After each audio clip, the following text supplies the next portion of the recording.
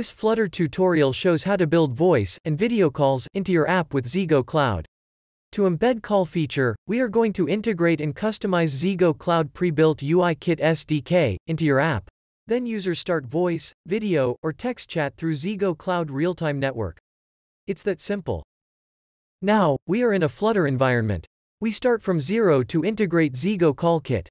Firstly, creating a new project using Flutter. Okay, the new project has been done. Let's see how to integrate the SDK. Firstly you add ZEGO UIKit pre-built call as dependencies. Run the following code in your project root directory.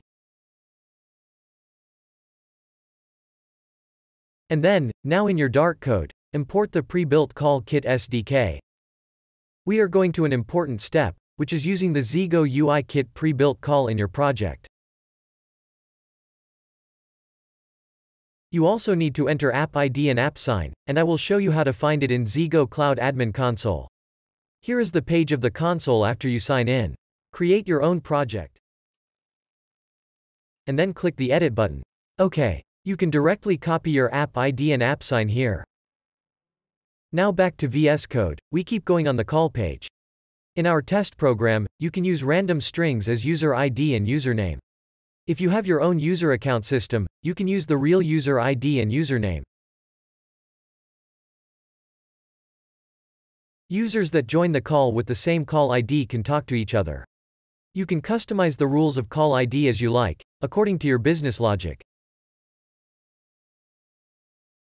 Now, you can make a new call by navigating to this call page. But don't forget, you need to modify homepage, which is automatically generated by Flutter firstly, so that you can keep going on testing call page. Okay, here we are. For the second main step, we are going to help you configure your project for Android and iOS. Let's see how Android works. Firstly, if your project is created with Flutter version 2, you need to modify the compile SDK version. Open your file on the list. Android. App. Build Gradle. And enter 33. And secondly, you need to add app permissions. Continuously open the file.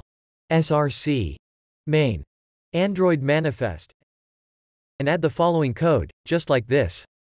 Thirdly, to prevent obfuscation of the SDK public class names, you should do the following.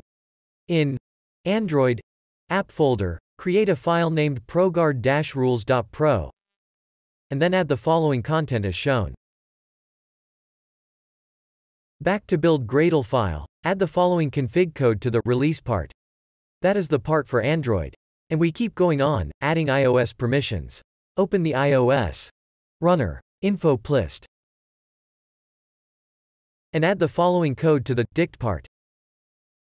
Okay, now you have finished all the steps. Let's see how it works.